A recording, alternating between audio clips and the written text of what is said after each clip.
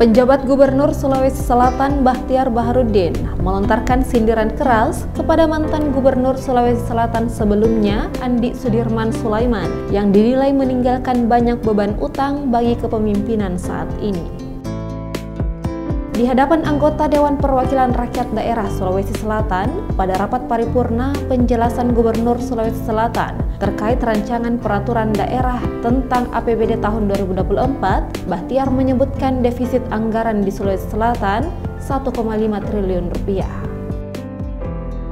Defisit anggaran adalah kebijakan yang dibuat oleh pemerintah dengan cara membuat pengeluaran menjadi lebih besar daripada pemasukan daerah.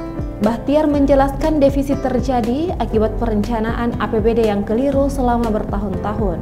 Perencanaan program tidak disesuaikan dengan porsi anggaran yang tersedia. Ia juga mengaku sangat prihatin akan situasi tersebut sebab kondisinya saat ini ia ibaratkan juga seperti kapal yang akan tenggelam. Buntut daripada hal ini, seluruh kegiatan di Provinsi Sulawesi Selatan yang direncanakan di anggaran perubahan 2023 dipangkas, bahkan ditahan hingga Desember mendatang.